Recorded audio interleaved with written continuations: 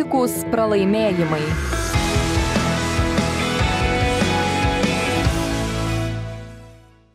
Sveiki, gyvi. Aš Gintras Gimžauskas, čia laida Puikus pralaimėjimai. E, prieš pradedant e, laidą ir pristatant jos e, svečią, noriu priminti, kad šią laidą galite išgirsti radintuvų pagalba arba užsukę į žinių radijo interneto svetainę adresu ziniųradijas.lt arba pasinaudoję žinių radijo išmaniają programėlę. Nu, jeigu nespėsit šios laidos iki galo pažiūrėti ar išklausyti, ją vėliau galėsit rasti žinių radijo archyve. Dabargi pristatau šios laidos svečią. Tai yra fotografas, e, trupučiuką režisierius ar kaip čia filmų kūrėjas turbūt, e, Rokas Darulis. Sveikas, Rokai. Labas, Kentarai. E, ačiū, kad užsukai, tu vis nuolatos krajoji iš Lietuvos ir į Lietuvą atgal ir dabar prieš porą, pusantros dienos maždaug grįžai vėl ir tada truputėlį pamiegoji ir į žinių radio studiją. Tai ačiū tau už tai. Ką pastaruoju metu veiki? Pastaruoju metu, jo, dirbu e, praktiškai be sustojimo dabar keletą savaičių. Tai... Kada tu nedirbi? E, turėjau šiek tiek pertrauką rudenį, e, porą mėnesių nelabai ne dirbau ir kažkaip artėjant naujiesiams susirašiau visokiausių planų ir tikslų šiem metams ir kažkaip vien, vienas iš jų buvo grįžti prie darbų. Tai kažkaip manifestavau tą labai ir, ir prasidėjo viskas veikti. Tai pat paskutinės dvi savaitės dabar buvau išvykęs, savaitę dirbau Barbadose, tada grįžau dienai į, į Londoną, pernakvau, išsiskalbiau, lėkiau Fortaventūrą, e, ten apie tris dienas darbavaus, e, parskridau už vakar ir vėl už savaitės išlėksiu kiek gali žmogus taip tempt, kiek, kiek, kiek gali nuolatos varyti nesustodamas? Mhm. A, labai, nu, reikia pertraukų. Tarp e, šiaip va toks vienos savaitės darbas su kelionė kažkur, ypač ten transatlantinė, tai labai išvargina. Um, tai svarbu turėti kažkokius tai e, keletą dienų bent jau tarp darbų pailsėti. O yra kas ir visą laiką taip dirba, bet um, dar... Čia industrijos asai. Jo, ne, nepriejau dar to, bet tai yra fiziškai labai sunku. Mhm. O tau yra dar tas noras būti geriausiu, ten top of the top, kur asų asas ir mhm. nuolatos sukasi? Um, tas top of the top dabar gal šiek tiek pasikeitė, dabar yra labai daug tokių kaip įvairių, nežinau, daug gerų žmonių savo, savo smulkesnėse sferose man atrodo kad tokių mega žvaigždžių kaip būdavo anksčiau bent jau fotografijoj jų nebelabai liko ir, ir tas ta, ta viršūnėlė pati prasiskėdė, sakykime, daug daugiau žmonių daro labai gerai savitai. Mhm. Ar dėl to, kad pasidarė tiesiog labai paprasta fotografuoti, visi gali techniką nusipirkti, tam reikia mažiau įgūdžių kažkokių, tai Mhm. Socialiniai tinklai gali mhm. susirašyti ten su kontaktais kažkokiais. Manau, kad tiesiog išauga, auga pati rinka, auga platformų kiekis. Tai jeigu ten anksčiau, sakykime, fotografuoti buvo galima tiem vadinamiem campaigns, tai reklama, kurią matom gatvėje, plakatų arba katalogui, e, tai dabar fotografuoti galima ir Instagramai, ir social, social medijoms visoms, ir, ir 3D, ir video, ir labai prasiplėtė tas tų platformų kiekis, sakykime, klientų padaugėjo, e, tų brandų daugėjo, tai... Na, o į kur tu krypsti? Mm, aš kaip ir Nežinau, tai aš dirbu savo, kaip tą mano nišą pavadinti, ne, nežinau, aš tiesiog... Kas ko paprašo, tą padarau, ne? Jo, aš fotografuoju pagrindę lookbookus, katalogus, taip sakykime, mid, mid-range tokio, nu, šitiems brandams mados. Mhm. Tai. Supratau toks darbas visai kūrybinis, fotografas, nėra eilinis darbas. Mm, klausimas, iš kokios tu šeimos kilai? Aš Mhm. kažkaip paieškau, niekur neradau internete ir Mhm. man įdomu pasidarė, gal šeimoje kūryba kažkaip buvo Mm. akcentuojama. Mano šeimoje, bent jau kiek aš žinau, tai nėra e, žmonių, kurie dirbtų su kūryba. A, tai net, Iš kur tu toks balta varna? net nežinau iš tikrųjų. Čia draugų įtaka? Kažkaip man nuo mažens buvo įdomu visokie kūrybinės rytis ir iš tikrųjų tai planavau studijuoti grafinį dizainą. Kažkaip labai mėgau kurti internetinius puslapius, e, šiek tiek grafiniu dizainu užsiemiau, bet e, tada ta fotografija kažkaip šalia atsirado dar mokykloje ir tiesiog, e, manau, daug kas, kas tą patyrė, nemokėtų to paaiškinti, bet supranta tą momentą, kai tu įsimylė ją ir tiesiog nebenori nieko daugiau daryti. Mhm. O kiek tau metų buvo, kai tu supratai, va, jau fotografija čia yra mano? Mhm. Galbūt e, apie 18 turbūt. Aš pradėjau užsiminėti 16, bet dar taip ją atradinėjau ir tada jau 18 padariau sprendimą, kad noriu dirbti šitoj srity. Aha. Ir ten tas kelio pradžia pati iš tikrųjų turbūt Londone buvo, ar ne? A, taip. a, Kol dar mokiausi Lietuvoje mokyklai, tai ten buvo tokie kaip eksperimentai, eksperimentavimai. e, Ir aš jau buvau užpildęs stojimo dokumentus į Londoną į grafikos dizainą. Ir e, juos reikia pildyti met, metus prieš, tai kol jau baigiau mokyklą, jau buvau apsigalvojęs, kad aš nebenoriu grafinio dizaino ir tada rizikavau ir vienintelis būdas stoti į fotografiją buvo atšaukti visus grafinio dizaino pasiūlymus ir tada rizikuoti į likusias laisvas vietas fotografijai stoti arba niekur neįstot. Bet aš antiek norėjau tik, ta, tik tai fotografiją studijuoti, kad aš viską atšaukiau ir tokiu jau last minute Mhm. būdu į- įstojau. Nu tai jo, ir tada kaip ir... Ar tu sakykim, atsimeni tą, e, pavyzdžiui, pačią pirmą dieną ar patį pirmą mėnesį, kada tu pradedi studijuoti Londone fotografiją savo svajonių, tą aistrą tokią u- užsikūrusią. Koks tas jausmas? Mm, atsimenu gana neblogai. E, tai vi, viskas buvo labai įdomu, nauja, taip atrodė, čia labai labai daug galima atrasti ir labai daug pasimti iš to. Um, ir vi, visos studijų lai, tuo metu kažkaip ir, ir išliko mano ta pozicija, kad tu iš studijų pasimsi, gausi tiek, kiek pats pasimsi.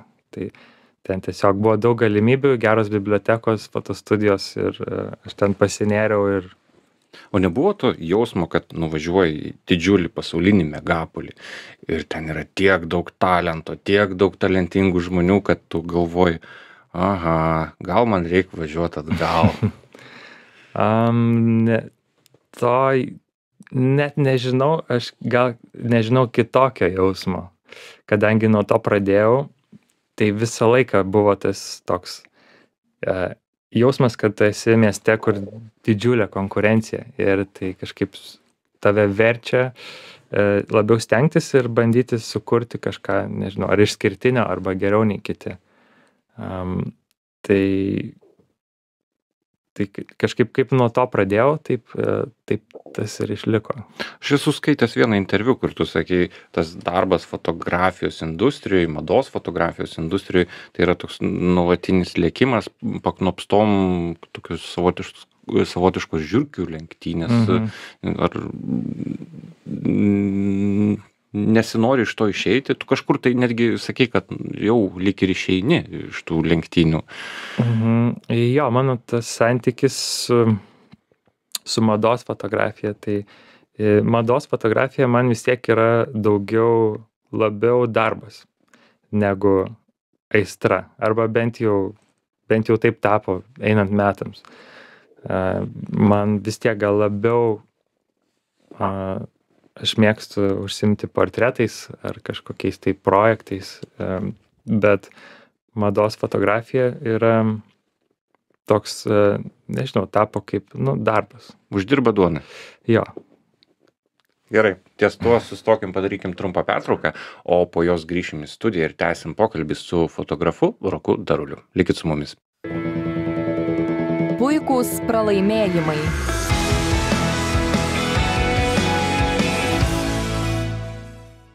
Sveiki sugrįžę. Čia laida Puikus pralaimėjimai. Aš Gintaras Gimžauskas ir šį kartą kalbinu fotografą Roką Darulį, kuris pirmoje laidos dalyje papasakojo apie atsiradusią jaunystėje aistrą fotografijai ir ta aistra nuvedė jį į Londoną, kur su daugybė pasaulio talentų jis ten pasinėrė į fotografijos mokslus. Um, aš kažkur skaičiau ar girdėjau viename tavo interviu, kad tu uh, aštuonerius metus ėjai iki to taško, kada gavai agentą, kas fotografui čia yra turbūt labai svarbus dalykas, ar ne? Mhm. Profesionalumo pripažinimas turbūt, a, kaip čia skaitosi tas agentas. Mm, Taip, iš esmės e, tokiose rinkose kaip Londonas ar New Yorkas, tai agentas tau duoda galimybę dirbti, pradėti dirbti su tam tikro lygio klientais. Tai vadinami, sakykime, corporate uh, clients, tai kažkokios didelės kaip korporacijos. Ir taip yra todėl, kad e, jie fotografuoja labai didelius kiekius, e, tai yra ten praktiškai į dieną net po kelias fotosesijas kartais. Čia tokie dideli brandai kaip ten, sakykime, Topshop ar, ar Primark ar a, John Lewis, nu, tokie dideli de, šitie parduotuvės, department stores, Taip. nežinau kaip pavadinti. Parduotuvių tinklai. Jo, ir um, jie, jiem dirbti su žmonėmis iš agentūros yra kaip saugumo garantas, kad, uh, kad uh, bus, nežinau, garantuota kokybė, kad bus, yra garantija, kad tas žmogus žino, ką daro, kad jis yra profesionalus. Reiškia, jeigu tu pasiekiai tą lygį, kad tu esi agentūrai, tai tu jau esi patikimas, e, plus dar agentūra už tave atsako. Mhm. Ir maža, ka, kas nors dar nutiks, sakykime, nežinau, ten tu nebegalėtum kažkodėl Mhm. a, atvykti, tai agentūra gali pasiūlyti tada alternatyvą, arba jeigu yra problema, agentūra gali ją išspręsti. Tai Mhm. e, kai, kai ten tokia didelė mašina važiuoja, tai jie, tos, tos korporacijos jos ne, nenori kaip ir mėtytis dyli- kažkur, ar- dylintis su jo, kažkokiais pavieniais žmonėm, jiem Aha. yra tai per sudėtinga. Tai dažniausiai kreipiamas į agentūrą ir, ir iš jos įmamas, tarkim, ir fotografas, ir stilistas, arba e, ten makiažo plaukų specialistai. Mhm. Tu aštuonerius metus iki to ir tau pasisekė gauti jau tą nu, agentą, agentūrą, ar ne? E, Ta pati dabar beje atstovauja tave agentūra? E, Ar taip, pasikeitė? jo, aš vis dar su tais pačiais. Su tais pačiais. E, Mano klausimas yra toks. Aštuoneri metai. E, Vėlgi, kažkur esu skaitęs, kad pasauliniu mastu aštuoneri metai tai nėra baisiai daug fotografo karjeroje. Tai lik ir jis dar bręsta, jaunas fotografas. Tavo atveju tai buvo gana anksti, tau tuo metu buvo kiek? 20? Man buvo 26 metai. 26. E, klausimas toks. E, tuos aštuonerius metus, kiek kartų buvo tau, kad viską metu, nieko čia nepavyks, važiuoju aš geriau į Vilnių Mhm. ir bus rami galva. A, tai minčių tokių buvo a, daug. Man iš tikrųjų ir, ir dabar tokių minčių dažnai būna. Bet a, minčių buvo daug kartų, bet kažkaip visą laiką sukasdavau dantis ir prakesdavau. Bet a, va tada po aštuonerių metų tai ir buvo turbūt pirmas kartas, kai tada mes dar su draugė ten gyvenom, susipakavom ir išvažiavom. Ir aš fiziškai išsikrauščiau po aštuonerių metų iš Londono. Ir vat tik išsikraušius tada vat, ir atėjo tas pasiūlymas.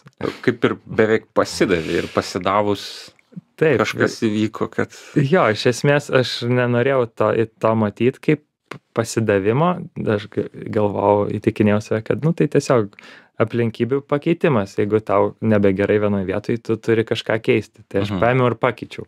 Bet matyt, kažkaip, vat, kai paleidau uh, tą mintį, tai jinai ir sugrįžo. Aha, čia ne veltui sako, kai per jėgą nedarai, Mhm. tai o, kažkaip ir viskas įvyksta, netgi man atrodo, kinų terminas yra tam specialus vuvei. Mm, tai kaip tik skaičiau jo apie šitą. Neseniai. lab, labai geras dalykas, beje. apie tuos aštuonerius metus e, per juos tu praktikavaisi dirbai tokiu pameistriu tų jau profesionalių fotografų ar ne galima Mhm. sakyt a- asistentas turbūt taip galima sakyt um, ir buvo ten visokių ir kliauzių E, prieš laidą truputį e, Mhm. pakalbėjom papasakok tą istoriją manau bus visiem įdomu Mhm. išgirsti Kaip? Jo, ten norėjai iniciatyvą parodyt jo, su, žodžiu, asist, asistavimas, e, irgi, pavyzdžiui, ten Londone, New York'e jis turi labai aiškias taisyklės ir aišku etiketą. Reiškia, kaip tu turi elgtis, ką gali daryti, ko negali daryti. Ir e, kai tik pradedi, nu, labai sunku tą visą sužinoti iš kažkur ir tu sužinai tik per praktiką. Ir aš tada atsimenu, tik buvo mano pirma diena darbo kaip studijos asistentų. Tai studijos asistentas yra dar žemesnis rangas už fotografo asistentą. Tai čia tas kur kavą nešioja jo, kaip yra vat, studija nuomojama, tai jisai dirba studijai ir ten atneša kavą, po to sutvarko studiją, išsirbė, išneša šiukšlės, toks kaip prižiūrėtojas, namų tvarkytojas studijos, sakykime. frekembok Tai jo, jo darbas iš esmės yra nesimaišyti niekur, nieko neklaust, nebent ar kažkam kažko trūksta ir tiesiog padėti, kuom gali padėti. Bet um, tada tą dieną, atsimenu, vyko, uh, nepamenu, ar British Vogue, ar Vogue Russia fotosesija. ir ten buvo tokia žinoma art direktorė Jamie Perlman, atsimenu, e, tą dieną ir aš kažkaip norėjau labai padėti, kuom tik galiu. Ir iš Lietuvos buvau pratęs, kad visi ten fotografuoja tas backstage užkulsius. Kie- Praktiškai kiekviena fotosesija Lietuvoje turi dar užkulsių fotosesiją ir užkulsių video, kas ten nelabai buvo praktikuojama. Ir aš tiesiog priejau prie jos ir sakau, o gal galėčiau jums čia pafotografuoti o ką jinai užkulsius. Ir jinai šiaip labai ramiai sureagavo, sako, nežinau, aš gal pasitarsiu, gal ir reikėtų. jinai priblokšta turbūt buvo nežinau Jinai sakyt. gal nesuprato, kas čia vyko, nes e, šiaip taip da, elgtis negalima. Apskritai, vienintelis žmogus su fotoaparatu e, studijoje gali būti fotografas. aha o Jo. tu jau apsidžiaugiai ten rankas Aš trini apsidžiaugiau, aš gyvenau netoliese, aš nubėgau pas savo bosą ir sakau, aš pasiūliau fotografuoti užkulsius, e, jie sutiko, noriu nubėgti namo pasimti fotoaparatą. Tai akis išsprogo ant kaktos jiems, jis sako, ką tu pasakei? Ten kilo tokia panika šiek tiek, jie apsitarė, ką daryti, sako, nueik, atsiprašyk, kad tu negali to padaryti. Ir tada turėjom tokį pokalbį su jais apie tai, ka- kaip dėrėtų elgtis ir ką galima daryti. Tai aha toks buvo geras šaltas dušas ir nuo tada jo pradėjau labiau suprast, kokią funkciją turi atlikti. mhm. Tai ir šiaip, vat, kit, kitiem pradedantiems ar, ar asistuojantiems, e, nusiūlau įsisavint, kad e, jo, tiesiog žinot e, maždaug savo vietą ir ne, nesistengt kažkaip apšokti. nes tų lygių neperšoksi į Taip. kitą le- levelį kaip sako ne, neiššoksi iškart a, tas etiketas iš tikrųjų labai įdomus dalykas a, panašu kad labai svarbi hierarchija kastos tam tikros ar ne Mhm. kiek užtruko laiko kada tu jau supratai įsisavinai visą tai Mm, jau pradedant dirbti, tai tas, tas išmokstama pakankamai greitai. E, užtenka tiesiog tyliai būti ir stebėti viską, kas vyksta. Ir man iš pradžių, kai, kai tu pradedi tame dirbti, yra būna pikta, atrodo, o kodėl aš čia pat, pats žemiausias ligmo, e, kodėl čia, kai vyksta pietus, tai ten aš turiu kažkur sėdėti, nežinau, užlindęs. šūdrų Jo, toks e, kaip ir atrodo pikta, ką čia, kodėl čia kiti įsivaizdina, kad jie geresni, bet paskui supranti, kad e, tos hierarchijos, tos sistemos reikia, kad viskas veiktų taip, kaip veikia. Dėl to ir nėra chaoso ir kaip ir visi žino, kam kas yra atsakingas ir kas ką turi padaryti. Ir mhm. visi iš esmės dažniausiai daugiau mažiau būna malonus žmonės, tiesiog tu žinai, kaip, kaip tai veikės, ką tu gali trukdyti, ko negali trukdyti, kaip į kažką kreiptis ir tada tas kažkaip po to pamatai, kad tai veikia ir kadangi vi- kiekvieną dieną dirba vis naujos komandos žmonių, kurie nematė vienas kito, nepažįsta, e, tai galiu įsivaizduoti, kaip, kiltų chaosas, jeigu nebūtų tos kažkokios sistemos. Mhm. Čia toks turbūt e, poreikis geros suteptos e, mašinos tam, kad pinigų tiesiog nešvaistyti, nes viskas beprotiškai ten kainuoja daug ir nieks nenori mest pinigų lauk Jo. ilgom kažkokiam fotosesijom. Gerai, padarykim dar vieną pertraukėlę. ir Dabar skirta bus pertraukėlė žinioms, o po jos grįšim į studiją ir tęsim pokalbį su Roku Daruliu. Likit su mumis. Puikūs pralaimėjimai.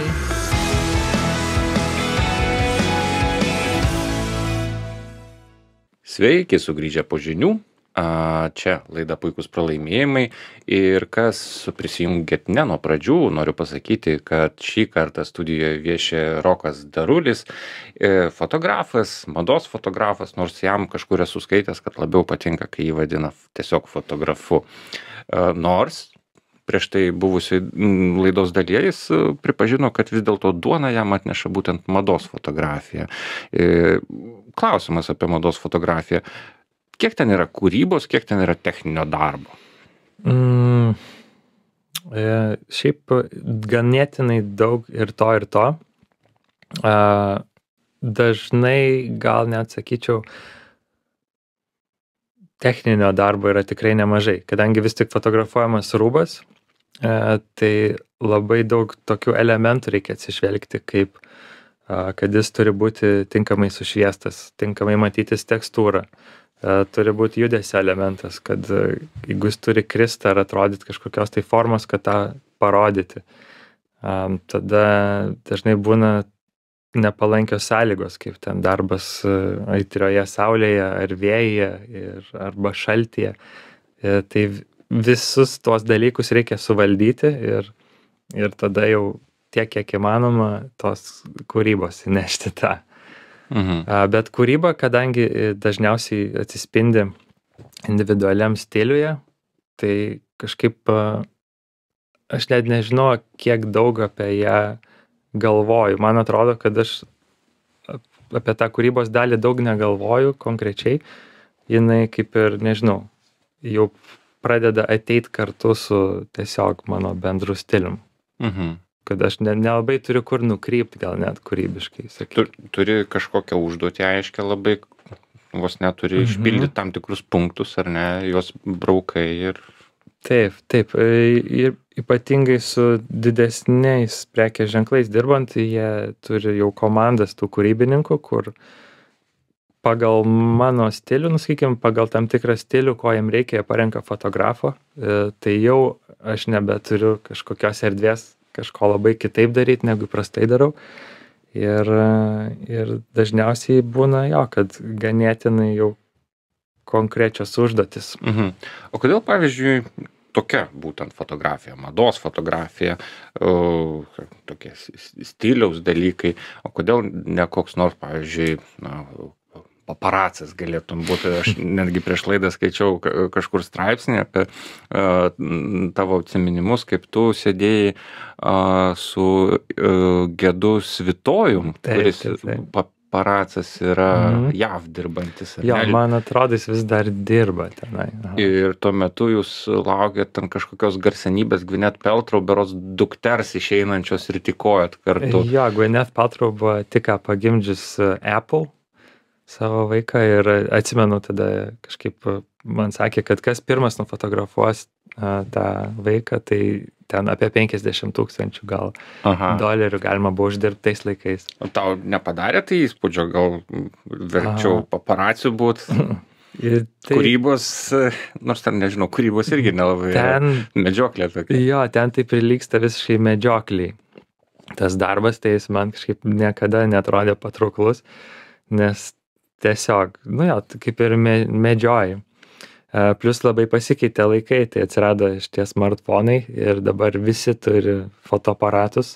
Kiekvienas gali uždirbti 50 tūkstančių, jeigu laiku ir vietoje atsiduria. Taip, ir tuo pačiu tiem profesionaliem paparaciams daug sunkiau, nes e, dabar labai daug žmonių gali būti kito, toj vietoje, kur žvaigždė ir, ir jau nebe tie laikai, kad tik tai jie gaudavo tą nuotrauką. Ir kainos mažesnės turbūt dėl to.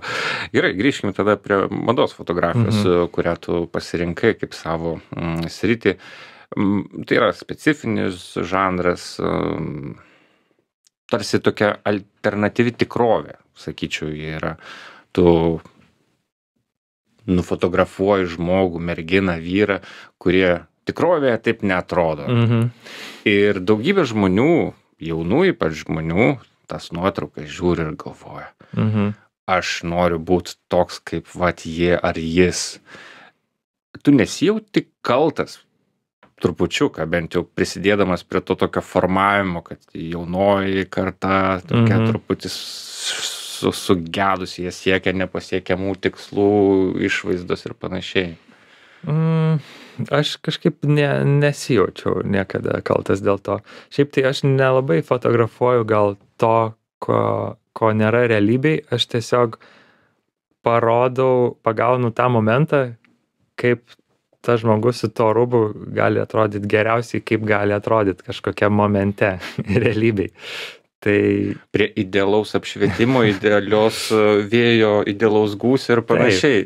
taip, nes aš kaip ir fiksuoju realų vaizdą. Tai Bet tai yra vis tiek fake. a, tai, O kiek būna paskui dar post, e, to post-production, kaip čia Mhm. lietuviškai, a, a, po, po apdirbimo nuotraukos, koregavimo, redagavimo? Um, sakykim, tie, tie dalykai, kokios, kuriuos aš fotografuoju, tai pakankamai mažai. Tai tas apdirbimas, tai gal sakykim, e, kažkokios raukšlės drabužėje išėmimas e, ir, ir panašiai. Ten visą laiką stengiuosi, kad oda būtų minimaliai e, retušuojama. Ten nei, nelabai nei ploninam, nei storinam. Mhm. Yra kas Kad ten nelabai ką yra jau ir plonins, bus visai jau. Tai va, tik tiek, kad tie modeliai tai yra, aš suprantu tą poziciją, kad e, tai yra kaip ir gal kuria nerealų kažkokį tai supratimą apie kaip žmogus. Aš esu kažkur skaitęs, kad labai daug modelių, pavyzdžiui, yra tiesiog paauglės, 16, Mhm. 14 metų. Būtent. kurios atrodo ten su visu makiažu atrodo kaip dvidešim kelių ir tada tos merginos kuriom yra dvidešim keli realiam pasaulyje žiūri ir galvoja Mhm. jergau jergau kodėl aš taip neatrodau Taip, iš esmės tai e, sutinku, kad jeigu matai vien tik tokį kūno tipą, tai, tai nėra gal gerai, kad nu, tu tada galvoji, kad irgi toks turėtum būti. E, tai čia sutinku, bet nu, mano požiūris tai visada yra, aš į modelį žiūriu kaip į atletus, kaip į kažkokius tai ten specialaus kūno tipo reikalaujančius profesionalus. Kaip- kritinio mąstymo reikia nes žmonės šiaip neverkia kad o aš nededu į kašį pavyzdžiui Būtent, vat, su krepšiniu kažkaip yra visiems na, suprantama, kad krepšinį tu turi žaisti, tu turi būti aukštas, atletiškas, tvirtas, nes tu, tai yra profesionalus sportas. Ir nu, su modeliavimu yra tas pats, tik tai kaip ir nesportas, bet reikalingas labai specifinis kūno tipas. mhm. Um, tai tiesiog, aš, man atrodo, kad um, mano požiūris, kad e, o ta industrija keičiasi šiek tiek nes e, prieš kurį laiką buvo ir tas too labai Mhm. judėjimas suaktyvėjęs ir ten daug istorijų buvo ir lietuvoj buvo išlindę kur Mhm. modeliai kalbėjo apie priekabiavimą apie labai ne ne nepalankias darbo sąlygas ar tau teko su tuo susidurt ir ar kažkas keičiasi E, Jaučiu, kad tikrai keičiasi. E, Man neteko susidurt taip konkrečiai dirbant. e, ar kažkas tavo aplinkoj galbūt pasakojo Mhm. kažką Jo, iš, vat, iš tų kalbų, e, kai dirbi su kažkokiais žmonėm, kolegom, ta bendra nuotaika jaučiasi, kad keičiasi. Kad tikrai tų kažkokių piknaudžiavimo atvejų daug mažiau, kad ir kiek jų būdavo. Tie netgi ten didieji fotografai, kurie įsivėlė į tuos skandalus, mm, kaip ten, nežinau, Mario Testino ar Terry Richardsonas, jie išnyko iš to, nežinau, horizonto tos mados bent jau nebesimato. Tai manau, stipri žinutė nusisiuntė ir daugeliu šiaip fotografų dirbančių. Ir um, apskritai, kiek girdėjau, kad malonesni, maloniau bendrauja tie fotografai ar ten stilistai, kurie yra pagarsėję kaip kažkokie tai, nežinau, pikti ar, ar ten nemaloniai besielgiantys su asistentais ir panašiai. Nes vad daug kalbu su, šiaip asistentais, kurie dirba su ten tam tikrais fotografais, tai kažkaip sako, kad jie netgi pasikeitė ir ne, nebesielgia taip, kaip ten, sakykim, nežinau, per uh, Velnės dėvi Prada, ar kur ten galim pamatyti Aha, pavyzdžių. Klasikinis turbūt toks, ten, galbūt ir perdedama, o gal ir ne. De, ne, ne, neperdedama, kiek teko girdėti istorijų, tai kad realybė dar, e, dar Gražesnė. blogesnė būdavo. Kad, ta Okay. prasme, tu vi- visos, ką ten net filmai parodo, tos istorijos, kaip elgesi su, su tais pavaldiniais, tai realiai ir taip ir dar baisiau vykdavo. Tu to nepatyrei pats. E, Ne, man kažkaip, aš niekada nedirbau labai, labai to jau aukščiausio lygio fotografams, tai Tai nėra ko ten ir lysti. Gerai, padarom dar vieną pertrauką, po jos grįšim jau į paskutinę laidos dalį ir užbaigsim pokalbį su fotografu Roku Daruliu. Puikūs pralaimėjimai.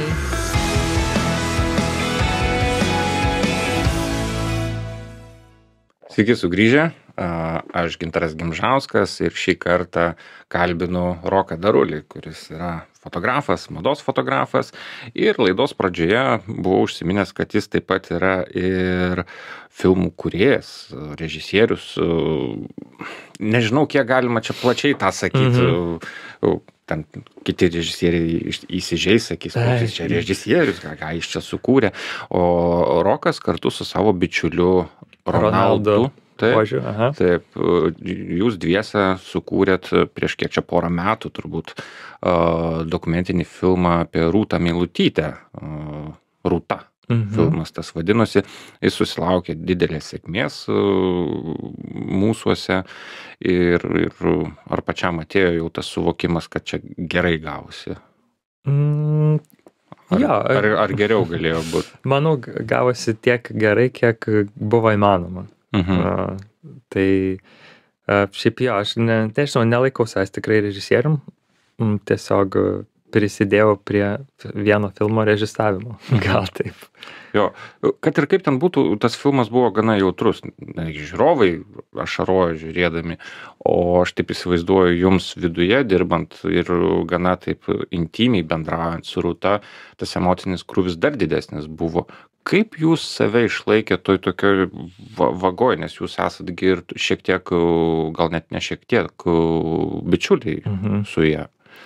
E, Taip, taip, Rūta mūsų gera draugė buvo dar prieš pradedant filmavimą, tai čia buvo tokia užduotis, e, kaip ir stengtis objektyviai ją pateikti, bet tuo pačiu nu, garbingai ir, Mhm. ir iš pagarbos kaip draugai irgi kažkaip ne, nežinau, neperžengti kažkokių ribų. Tai dar kadangi nagrinėjom tokią jautrę temą, tai buvo nelengva, bet kažkaip stengiamės tiesiog sąžiningai mm, ją tą istoriją papasakot. Ir a, aišku, kaip ir kalbėjom su Rūta, kad a, kiek, kiek jinai pati gerai jaučiasi atskleisti savo tą istoriją ir tiesiog viskas, ką parodėm filme, tai na, kaip ir su Rūtos palaiminimu buvo. Mhm. O, tą filmą kuriant buvo ir tokių įdomesnių situacijų, kada irgi pasakai, nuskridot e, į Turkiją, ar ne? Jo, Ir ten ne- ne- nelabai buvo susikalbėta e, tarpusavė su, su Rūta, ka- kaip ten buvo. jo, staf, kuriant tą filmą buvo man bent jau asmeniškai, nežinau, gal dešimt kartų, kai aš sakiau, kad viskas turbūt jau nebeišeis sukurti šito filmo ir, Aha. ir Čia sunkiausias darbas tavo gyvenime. E, Jo, čia buvo tikrai vienas sunkesnių tokių projektų, ko- kokius esu apsiemęs. E, e, Žinau, gal Ronaldui taip netrodo, ką manai Ronaldai, bet aš jau jam sakiau, kad jo, man buvo sudėtingų daug momentų, nes kaip pavyzdžiui, jo, šitas atvejs mes buvom splanavę vykti į Turkiją, į Beleko miestą, filmuoti rūtos stovyklos treniruočių. Ir ta, tuo momentu mūsų komunikacija su Rūta vyko gana sudėtingai, jinai kažkaip netrašinėdavo gal mums tiek, kiek, kiek mes norėtume, bet tai mes tengiamės tiesiog su, sutarti detales ir palikti ją ramybėj nes matėm kad e, nenori daug bendraut tuo momentu tai tiesiog sutarėm kurią da kurias datas kur atskrendam turkijoj treniruočių stovyklą. Ir jo ir atsimenu tą dieną kai jau reikėjo skristi aš pirmąkart gyvenime palikau pasą namie. Šiaip niekada nėra to buvę bet oro uoste jau pamačiau kad neturiu paso tada turėjau kortelę id jis sakė į turkiją neįleidžia su kortele. Skambinau draugui ar įdėtų per kurjerį sakė niekaip nedirba kurjeriai šeštadienis. Tai tada lėkiau namo pasiimt pasą pirkau naują skrydį skridau ten per į tą turkiją atvykau naktį ir tada su ronaldu parašom rūtai kad mes čia. Rūta atrašo oi jūs šį mėnesį čia planavot? Aš maniau kad kitą. O jinai Ir- visai neturkijoj. jinai buvo atsimenu kad kitam visiškai pasaulio krašte salose kažkokiose net nepamenu kur. Ir e, jo mes tada sėdim penkiom dienom pasiėmę viešbutį kažkokiam kaime turkijos Atostogos buvo. ir e, jo tik ten tiek nebuvo ką veikt kad net nesinorėjo atostogaut tai tada pirkau dar ketvirtą skrydį kad grįžt anksčiau namo Mhm. Um, šiaip, jeigu ne fotografija, kas būtų tavo gyvenime dar? Mhm. Filmai? Režisūra? Ar po šito filmo jau daugiau niekada? po šito sakiau kad jau ilgą laiką neužsiimsiu kino kūrimu bet šiaip e, dokumentika man įdomu E, dabar jau praėjus kiek laiko galvoju kad būtų smagu vėl dirbt prie prie dokumentinio kažkokio kino Mm. projekto bet Turi minti kažkokią jau? ne e, kol kas nieko konkretaus bet jeigu jau imčiaus tai visiškai kitaip ne nebe nebe tokiu būdu kaip mes pradėjom rūtą kai tiesiog sėdėjom virtuvėj ir sugalvojom ir sakom o vykstam. Ir dviese tiesiog iš savo finansų ir viską pradėjom filmuot. Tai norėtųs suburt komandą kažkokią Mhm. rast finansavimą ir ramiai be streso Mhm. Gal ateis kažkada tas laikas. Grįžtant prie fotografijos, yra vienas labai svarbus klausimas ir jis toks amžinas, lydintis fotografiją, ypač turbūt tą tokią mados fotografiją. Kur yra riba tarp e, tokio meno ir erotikos? Nes aš užmečiau akį į tavo, pavyzdžiui, Instagramo tą Mhm. mhm. sieną ir ten yra daug nuotraukų, kur, o, tokios merginos, taip, gana taip švelniai er, erotiškai, Mhm. nežinau, meniškai o, nufotografuotos. Ir kai kurie žmonės pažiūrėję, tai sakytų, čia kažkokia tai, mhm. o, kur čia tas menas, čia erotika, čia viskas matosi. Mhm. Tas, ma- man tai atrodo, kad um, vi, viskas gali būti menas, tiesiog sk skirtingiems žmonėms skirtingi dalykai gali būti menas. Tai kažkam gal ir, nežinau, por, pornografinės nuotraukos tam tikros e, ir yra, berots, japonų fotografas toks Araki, kur, nu, ten labai intensyvios nuotraukos ir tai yra kaip ir, nu, me, meninės nuotraukos. O ka- kas, kas nustato tą ribą? Čia menas, ne menas. E, Yra tai- kažkokia komisija, kuri mes aprūvinam tą. Jo, niekas nenustato. Ar tu tai... pats pasivadini, sakai, aš meną sukūriau. Štai. tai vat nežinau su tuo menu jis kaip ir nėra oficialaus kažkokio meno licenzijos kad va jau meną kuriu E, aš ką tik stengiuosi savo nuotraukose tai mm, jeigu ten ir yra kažkokių nuogybių tai tiesiog kad ta ta nuotrauka būtų kažkaip nu nežinau su pagarba e, pa nufotografuota ir ir ir ne ne kažkaip mm, Ten išlaikyta turi būti tokia paslaptis ir romantika kažkokia. Man labai patiko, beje, e, tavo e, pajūrio istorijos, berots. Aha. Taip vadinasi, ten serija tokia. mhm. Tai aš užskaitau, nežinau, kaip kiti galite užėti į Roko tinklalapį ir pasižiūrėti, ten yra įdėtos tos nuotraukos. Paskutinis klausimas, kada laikas jau visai baigia ištiksėt. Mm, tavo kartos žmonės, turiuomenį jaunesni tokie, matyti, millennial su tą e, tūkstantmečio kartą pataikantis, e, neretai būna tie, kurie jaučia beprasmybės jausmą. Mhm. Ar tau tai būna, kad tu žiūri į tai, ką tu darai ir matai, kad čia beprasmybė kažkokia grindinį ten, tas Mhm. nuotraukas pleškinį ir... E, buvo atėjęs toks jausmas. Ir e, jo, manau, kad mūsų kartai ypatingai aktualu, kai tiek visko daug vyksta ir, ir tu atrodo vis vėjėsi ir nespėjai ir po to susimastai, kad ką aš čia darau ir ar kažkam to reikia. Um, bet e, kažkaip paskutiniu metu tai, nežinau, atsikračiau jo ir šiuo metu tai esu labai motivuotas ir smalsus vėl kūrybai ir gyvenimui. Tai. Ir dėl to išvažiuoji po savaitės e, į, Ugandą. į Ugandą nemokamo darbo daryti kažkokio įdomaus. Tai va, sėkmės tau ten Ugandoje, ačiū, kad užsukai pas mus į Ačiū studiją. labai. Ačiū visiems, kurie klausė ir žiūrėjo. Priminsiu, kad a, čia buvo laida Puikus pralaimėjimai ir joje viešėjo fotografas Rokas Darulis, na, o aš Gintaras Gimžauskas, laidos vedėjas, noriu su jumis atsisveikinti iki kito karto. Tik priminsiu, kad šią laidą, jos įrašą galite rasti žinių radio interneto svetainėje adresu žiniųradijas.lt arba dar vėliau rasit ir YouTube bei Spotify platformose. Na, o kol kas likit sveiki. Puikūs pralaimėjimai.